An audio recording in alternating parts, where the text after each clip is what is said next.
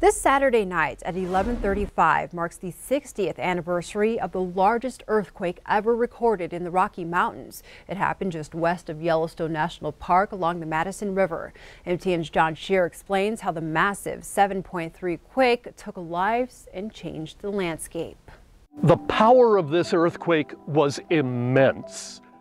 I'm standing a couple hundred feet above the old riverbed which is underneath the waters of Quake Lake over here.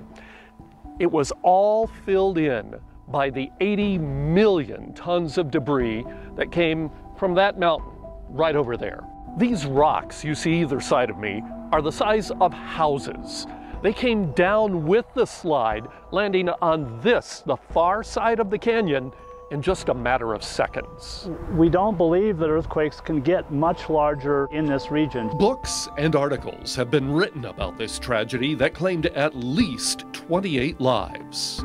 Most have something in common.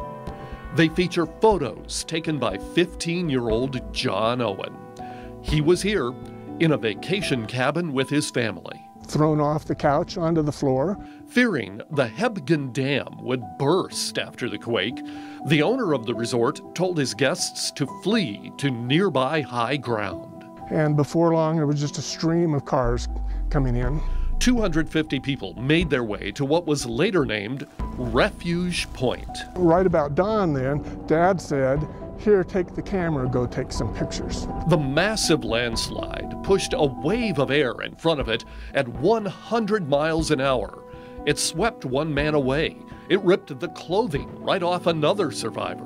You know, it's the human story that, you know, it's gut wrenching to, to hear how some families were separated. Parents killed by a giant rock while their three children survived. It's also the geologic story. This is one of the largest landslides um, in North America. It left the picturesque canyon a wasteland. In the morning, it was like we were in a new world, like we'd been in one world in the campground and somebody picked us up and put us on a, a different planet. Those 250 people were stranded in this strange new world. To the west, the only road was under that 250 foot pile of debris, while to the east, the road had disappeared into Hebgen Lake. Middle of the morning, a plane flies over and a couple smoke jumpers come out. It was like rescue from the sky. They brought medical supplies, food, and a radio, leading to one of John's most memorable photos. One guy's taking a real careful step, but in the background, big uh, mountain over here, here's dust falling down. It was an aftershock. Aftershocks would have been um, major earthquakes in their own right. There were three aftershocks bigger than magnitude 6.5. Heard accounts of the ground essentially didn't stop trembling the, the night of the earthquake. The Air Force sent rescue helicopters to take out the seriously injured, while a highway construction crew working to the east jumped into action. So late on the 18th, there was a road more or less where cars could drive out. 15 year old John Owen was living an adventure.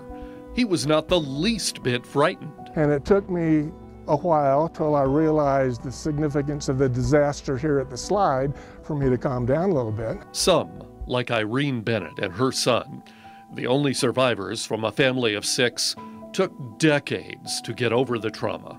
Probably 35 years, and they've never been back to this area. And we walked up to the memorial boulder, and they pointed out where they were camped. It was very emotional but it brought closure to her. Just behind me here, under the water and maybe a hundred feet down is the site of the old Rock Creek campground. Then in front of me is where the slide happened. It sent trees and rock and debris crashing through the sleeping campers. Some escaped and some suffered serious injuries, but 19 people never made it out. They're still here, buried under a mountain of rubble. At Quake Lake, near Yellowstone National Park, I'm John Shearer for MTN News. Wow, and we're told John Owen did not suffer from traumatic stress. He bought land along the river, built a summer home, and returns every year. Tomorrow we'll hear the less well-known story of what happened at, how it happened at Hegben Lake uh, during and after the quake.